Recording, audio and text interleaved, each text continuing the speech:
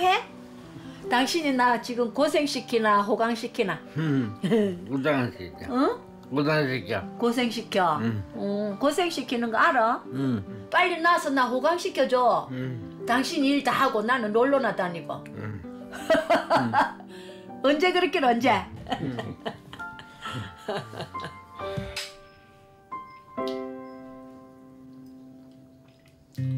곱고 희던 그 손.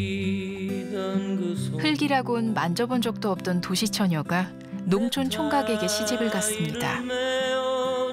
고된 농사일과 시집살이에 지친 아내에게 남편은 평생 행복하게 웃게 해주겠다고 약속했습니다. 그렇게 남편은 아내 곁에서 그 약속을 지키며 살았습니다. 한 사람의 남편으로 그리고 새 아이의 아버지로 누구보다 열심히 살아온 당신. 기억해 주세요. 당신은 세상 그 누구보다 멋진 가장이라는 걸요.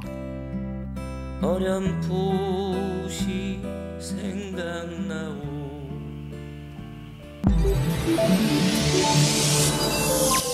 KBS